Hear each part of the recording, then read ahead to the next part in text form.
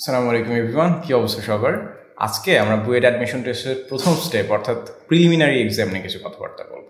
যেমনটা তোমরা অলরেডি জানো যে এবার বুয়েট ভর্তি পরীক্ষা দুইটা স্টেপে হবে। প্রথম স্টেপে তোমাদেরকে একশো মার্কের প্রিলিমিনারি এক্সামে পার্টিসিপেট করতে হবে। এই এক্সামটা হবে হচ্ছে চারটা শিফটে প্রত্যেকটা শিফটে মোটামুটি পাঁচ হাজারের মতো স্টুডেন্ট পরীক্ষা দিবে এবং প্রত্যেকটা শিফট থেকে পনেরোশো জনকে সিলেক্ট করা হবে। পরবর্তী স্টেপ অর্থাৎ ফাইনাল যে রিটার্ন পরীক্ষা, সেটাতে পার্টিসিপেট করার জন্য। তো এখন আমরা এই ভিডিওতে কথাবার্তা বলব যে কি কি স্টেপ ফলো করলে বা কি কি ট্রিক্সগুলো ফলো করলে তুমি এই প্রিলিমিনারি এক্সামে বেটার মানে পারফর্ম করতে পারবে। ওকে সো একেবারে ওভারভিউ যদি আমরা বলি যে এখানে পরীক্ষাটা হবে এক ঘন্টায়, তোমাকে একশোটা এমসিকিউ আনসার করতে হবে এবং প্রত্যেকটা এমসিকিউর জন্য তুমি ছত্রিশ সেকেন্ড করে সময় পাবে। এখন, আমি জানি না তুমি রিয়েলাইজ করেছ কি না এটা কিন্তু বেশ ডিফিকাল্ট একটা কাজ। তুমি তো বলতে পারো, ভাইয়া, ঢাকা ভার্সিটিতে তো বহু যুগ যুগ ধরে তো এরকম একটা এমসিকিউ তিরিশ, ছত্রিশ সেকেন্ড সময় তো সলভ করা হইতো। তাইলে কেমন এত কঠিন কাজ?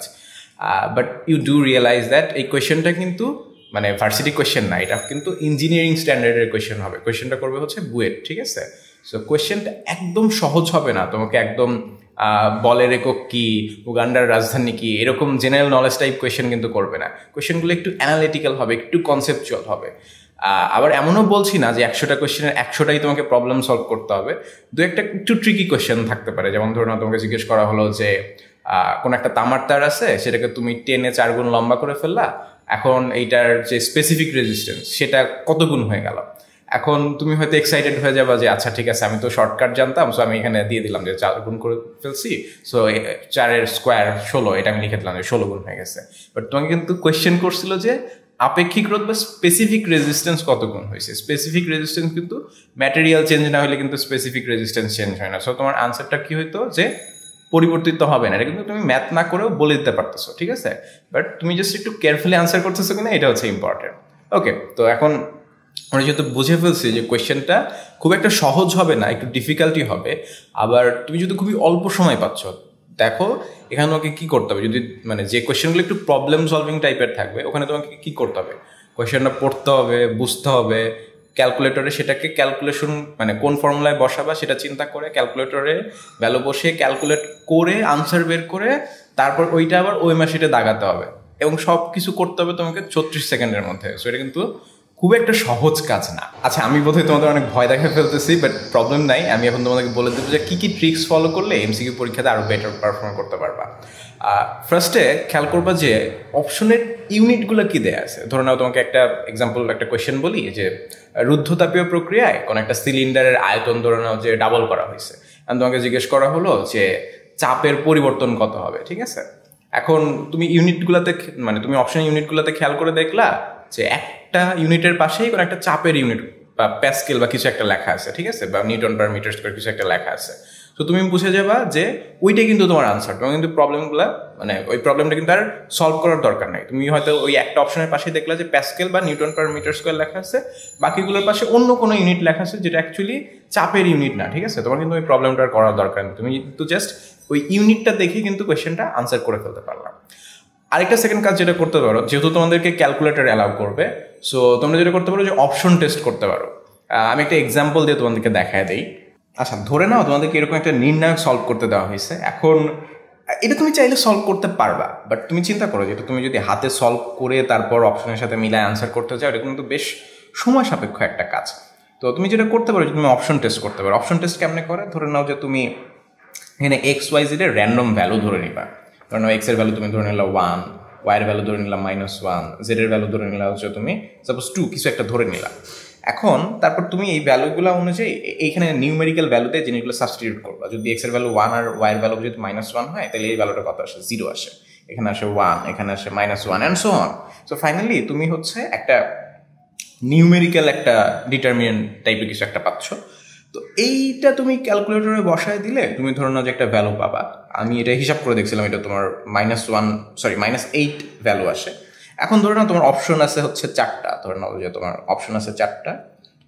প্রথম অপশনে আছে ধরে নাও যে টু এক্স ওয়াই তারপরে সেকেন্ড অপশনে আছে হচ্ছে তোমার ফোর এক্স ওয়াই জেড তারপরে ধরে নাও থার্ড অপশনে আছে হচ্ছে এক্স স্কোয়ার ফোর্থ অপশনে আছে হচ্ছে ওয়াই জেড এখন তুমি খেয়াল করে দেখবা যে এই অপশনগুলোর মধ্যে কোনটাতে এক্স ওয়াই জেড এর এই ভ্যালুগুলো বসালে মাইনাস এইট আসে। এখন তুমি খুব ইজিলি খেয়াল করবা যে এখানে তুমি যদি এক্স ওয়াই জেড এর ভ্যালু বসাও যে one into minus one into two আর সামনে একটা ফোর ছিল। এইখানে বসাইলে কিন্তু তোমার আনসারটা কত আসে? মাইনাস এইট আসে। অর্থাৎ এই যেটার সাথে মিলে যাচ্ছে। সো তুমি অপশন টেস্ট করে বলে দিলা, এইটা হচ্ছে তোমার কারেক্ট আনসার সো তুমি ওইটা ওইবার সেটা দাগায় ফেলবা, ঠিক আছে? এটা কিন্তু তুমি মানে এই আইডিয়াটা কিন্তু তুমি হচ্ছে ত্রিক্রমিতির বিভিন্ন রকম সমীকরণ, তারপর অন্যান্য অনেক টাইপের প্রবলেম কিন্তু অ্যাপ্লাই করতে পারো, ঠিক আছে? আচ্ছা এবার আমরা পরের যে ট্রিক সেটা নিয়ে একটু কথাবার্তা বলি। এমন অনেক কোয়েশ্চেন থাকবে যেটা তুমি আনসার এক্স্যাক্টলি জানো না বাট আনসারটা এই রেঞ্জের হইতে পারে এরকম তোমার একটা আইডিয়া আছে। ধরো তোমাকে একটা এক্সাম্পল দেই। ধরো, তোমাকে জিজ্ঞেস করা হলো যে টোয়েন্টি ফাইভ ডিগ্রি সেন্টিগ্রেডে অক্সিজেন গ্যাসের আর এম এস ভেলোসিটি তোমাকে বের করতে হবে। আর এম এস ঠিক আছে?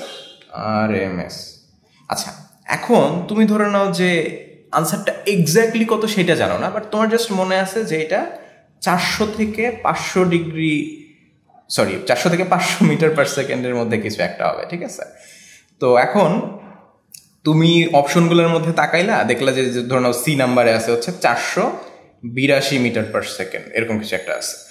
সো তুমি তো জানো যে আনসারটা হচ্ছে চারশো থেকে পাঁচশো মিটার পার সেকেন্ডের মধ্যে কিছু একটা হবে।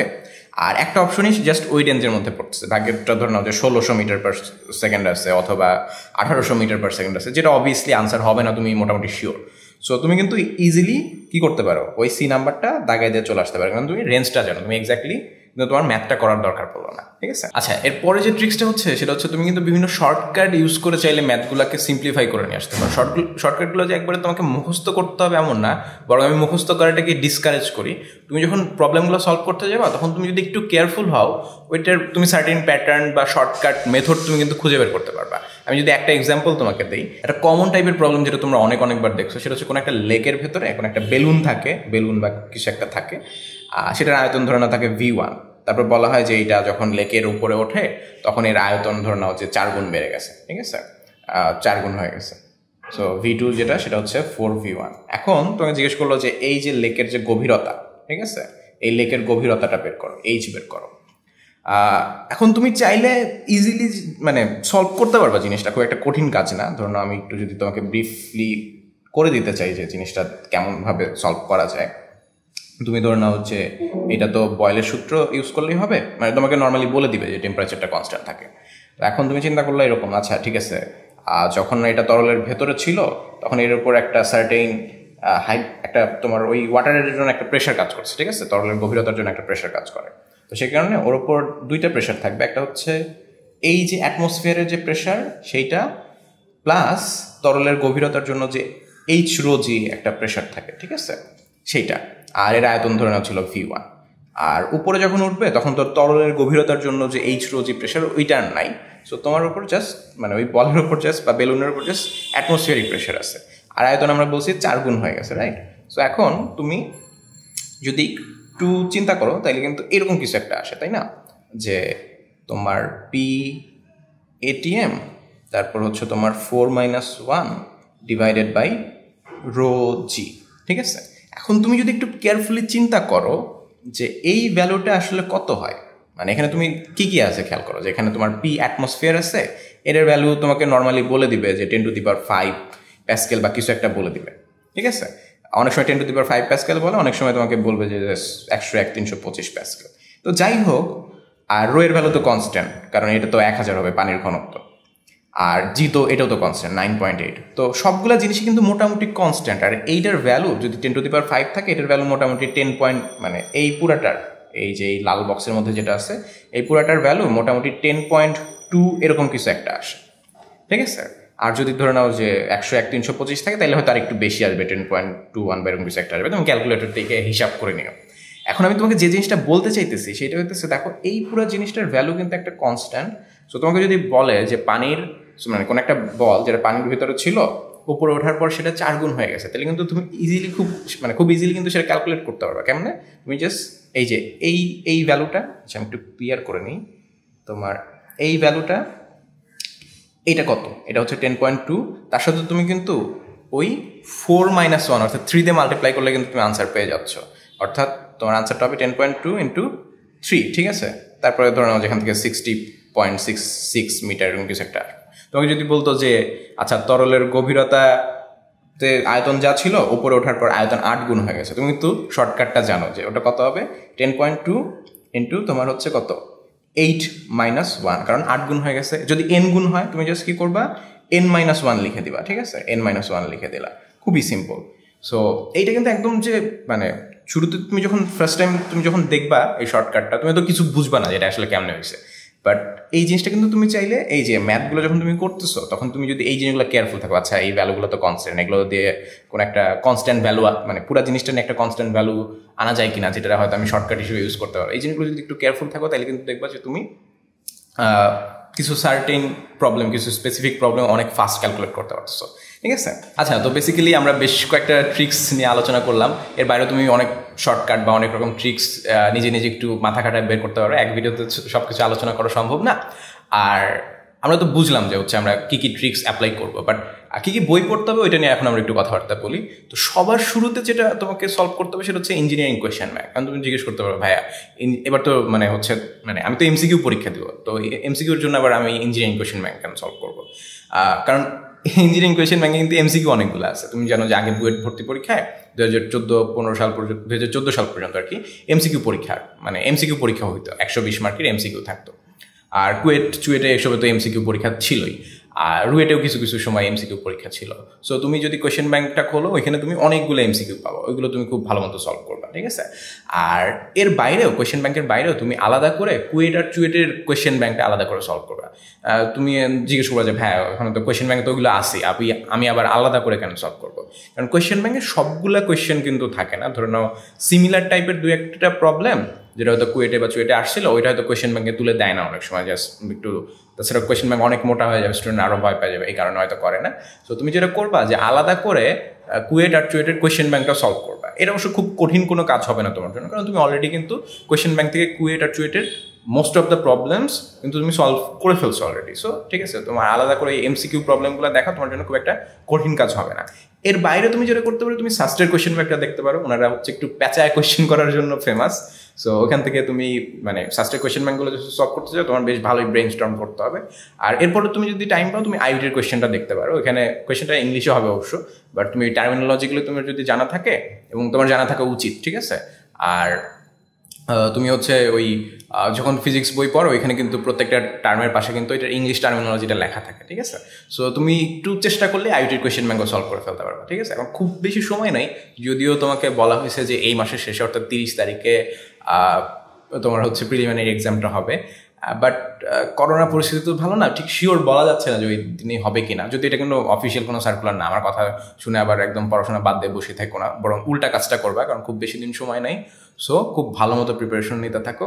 যদি মানে তুমি কিন্তু একটু খেয়াল করলে বুঝবা যে পাঁচ হাজার জন কিন্তু তোমার মানে প্রত্যেকটা শিফটে পাঁচ হাজার জন প্রিলিমিনারি এক্সামে বসবে এবং ওখান থেকে পনেরোশো জনকে সিলেক্ট করা হবে। মানে তুমি বুঝতে পারতেছো যে মানে প্রত্যেক পাঁচ হাজার থেকে পনেরোশো জন সিলেক্ট হওয়া মানে কি? থার্টি পার্সেন্ট অ্যাকসেপ্ট হচ্ছে। তুমি যদি ঢাকা ভার্সিটির কথা চিন্তা করো, ওইখানে এক দেড় লাখ পরীক্ষা দেয় চান্স পায় কতজন? ষোলোশো জন মানে ষোলোশো বা সতেরোশো জন।